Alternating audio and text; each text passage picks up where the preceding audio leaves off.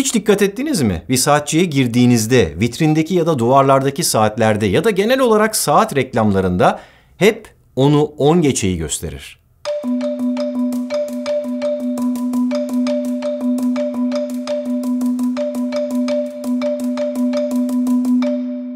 Evet bazılarında 1-2 dakika ileri ya da geri olabilir ama analog saatler genellikle 10-10'u gösterirken bize sunulur. İnanmıyorsanız hemen bir online satış sitesine girin, saat diye aratın, dijitalleri ayıklayıp sadece analog olanlarını filtreleyin ve dikkatle inceleyin. Onlarca markanın yüzlerce modelinin neredeyse hepsi genellikle 10-10 konumundadır. Saatlerin üzerindeki tarihler, günler değişebilir ama zaman sanki hep aynı noktada durmuş gibidir. Aslında bu hep böyle değildi. 1950'li yıllara kadar saatler genellikle 8.20'yi gösterecek şekilde ayarlanıp fotoğraflanıyordu. Ancak 1950'li yıllardan itibaren bu durum değişti. Artık saatlerin varsayılan durumu 10-10'dur diyebiliriz. Peki neden? Bu konuda çeşitli teoriler var ama bunların bir kısmı şehir efsanesinden ibaret. Önce onları bir aradan çıkaralım, sonra da işin bilimsel tarafına bakalım.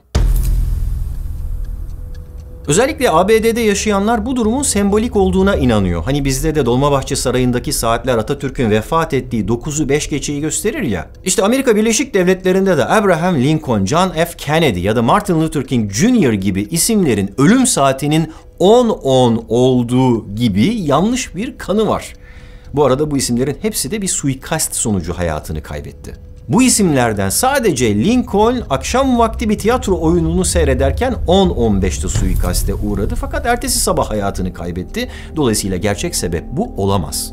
Bir başka şehir efsanesi de Hiroşima ve Nagasaki'ye bu saatte atom bombası atılmasından ötürü bu büyük trajediyi anmak için saatlerin 10-10'a ayarlandığı yönünde.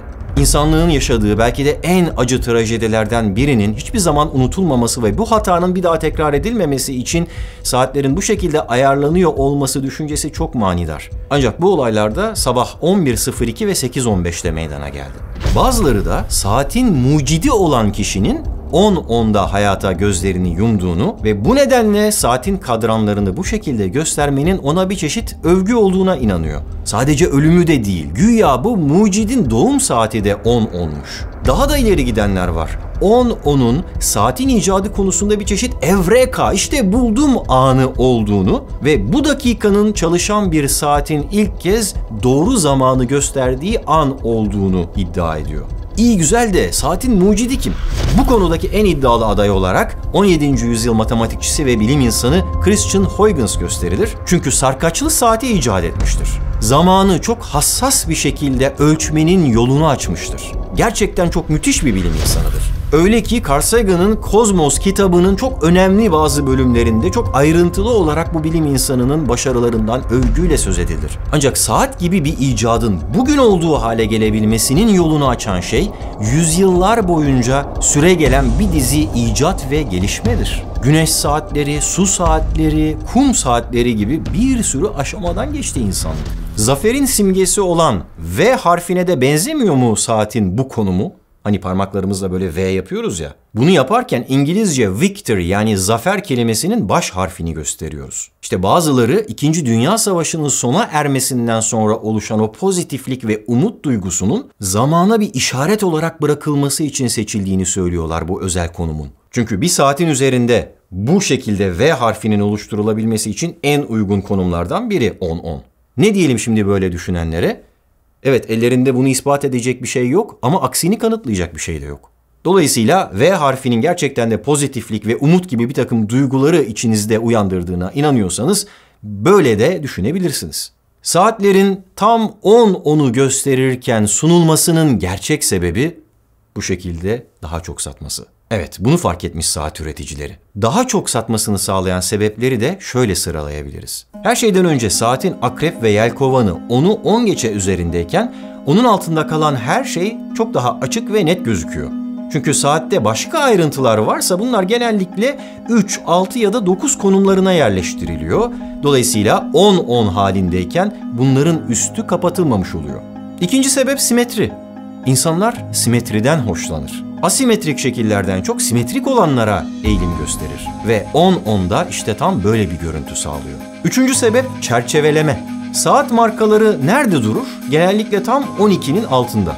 İşte akrep ve yelkovan 10-10 konumundayken saatin markasını çerçeveleyerek dikkatleri o bölgeye doğru yöneltir. Peki sebepler sadece bunlardan ibaret olabilir mi? Mesela 8.20'de de marka ve diğer ayrıntılar açık ve net gözüküyor ve üstelik bu da simetrik. Evet doğru. Zaten 1950'li yıllara kadar tam da 8'i 20 geçe gösterirken fotoğraflanmış. Fakat bu formda dikkatinizi çeken bir şey var mı? Sizce de bu şekil somurtan bir insan yüzüne benzemiyor mu? Evet öyle. Tam da bu sebeple Hamilton Watch Company o şekli tam tersine çevirmeye karar vermiş. Dördüncü ve en önemli sebebimize geliyoruz şimdi.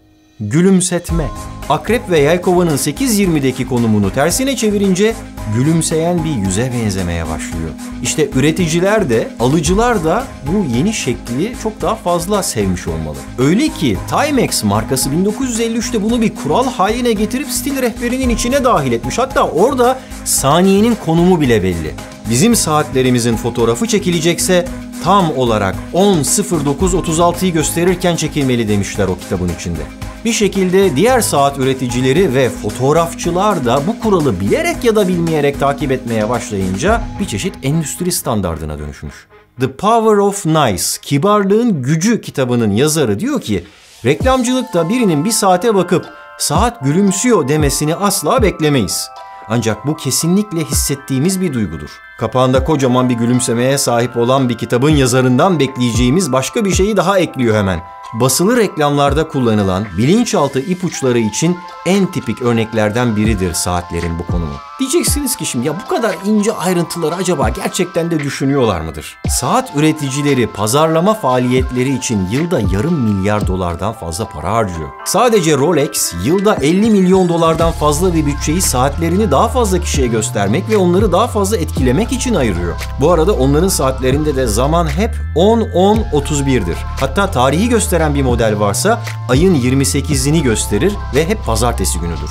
Üreticilerin yıllık pazarlama bütçelerini gösteren bu listedeki saat markalarını Google'da bir aratırsanız büyük bir çoğunluğunun yaklaşık 10-10 konumunda olduğunu siz de görebilirsiniz. Dolayısıyla bu işi şansa bırakmadıklarını rahatlıkla iddia edebiliriz. Pazarlama bilimden besleniyor. Hemen her konuda olduğu gibi bu konuda da verilerden faydalanılıyor. Tam olarak saatin konumuyla ilgili yapılmış bilimsel araştırmalar var. Bunlardan birinde yapılan deneyde deneklere 3 farklı zaman dilimine ayarlanmış saatler gösterilmiş. 10-10, 8-20 ve 11.30. Bir başka deyişle bizim gülümseyen surat, somurtan surat ve nötr bir durum.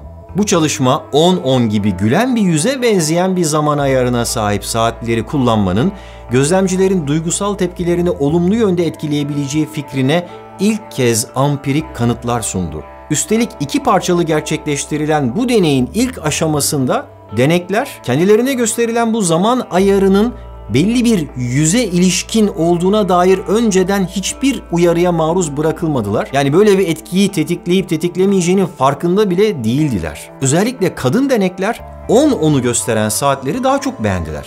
Piktogramlarla eşleştirmeli ikinci aşamada ise çok daha net bir şekilde 10-10 ile gülümseyen bir yüz arasında bir ilişki kurulduğu gözlemlendi. Gördüğünüz gibi saatlerin 10-10'a ayarlanmasında bile insani bir dokunuş var. Bir saatle ilk kez karşılaştığımızda, tanıştığımızda onun üzerinde maskelenmiş olan bir yüz ifadesi bile bizim duygu durumumuzu değiştirmeye yetiyor. O halde sadece 10-10'da değil günün her saatinde yüzünüzden gülümsemeyi eksik etmeyin. Yeni biriyle tanıştığınızda sanki o kişi dünyanın en önemli kişisiymiş gibi davranın. Çünkü öyleler. Sizin için olmasa bile başka biri için çok önemliler. O an olmasa bile gelecekteki başka bir an öyle olacaklar.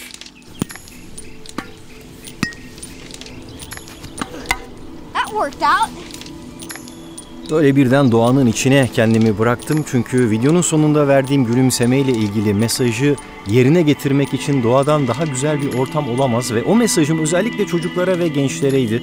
Aman kendinizi nasıl alıştırırsanız hayat boyu da öyle devam edersiniz. Şimdi ben bu videoda bir sürü saat markasından falan söz ettim ama gördüğünüz gibi ben analog saat kullanmıyorum. Bazı durumlarda akıllı dijital saatleri tercih ediyorum sadece. Dolayısıyla bunların hiçbirisi videonun sponsoru değildi. Ama bugün özellikle çocuklara yönelik servisleriyle çok büyük faydalar kazandırdığına inandığım bir sponsorum var. Cambly Kids. Oh, I recently learned how to surf. Here's how. Bu servisi size anlatmak için bir soruyla başlamak istiyorum. Çocuklar en iyi İngilizceyi nasıl öğrenir? Onu hayatının bir parçası haline getirerek. Pay attention, pay attention. Kendi dünyasının en doğal akışına ekleyerek, vaktinin büyük bir kısmında her ne yapıyorsa onu yapmaya devam ederek, yani oynayarak, eğlenerek, keyifli vakit geçirerek öğrenir. Yeah, I don't have one. I sleep with a book. İşte Cambly Kids en iyi dil öğrenme yöntemi olarak bilinen Language Immersion tekniğini kullanır. Ana dil İngilizce olan eğitmenler çocukları doğrudan dile maruz bırakıp oyunlar ve şarkılarla İngilizceyi öğretir. Ayrıca Cambly Kids'te birebir özel dersleri dilediğiniz saatte sizin ve çocuğunuzun programına en uygun şekilde planlayabilirsiniz. very cool trick. Right. Three, two. Çocukların evden, tatilden, doğadan, bahçeden kısacası siz neredeyseniz oradan ders almasını sağlarsınız. 4-15 yaş arası her seviyede çocuğa uygun Cambly Kids'i karne dönemine özel %45 indirim fırsatıyla en kısa sürede denemenizi öneririm. Çünkü çocuğunuzun erken yaşta dil temelini sağlam bir şekilde kalıcı olarak oluşturabilmesi için bu yaz çok iyi bir fırsat. Vakit koduyla çocukların vaktini en iyi şekilde değerlendirmesini sağlayabilir, onun geleceğine en iyi yatırımı yapabilirsiniz.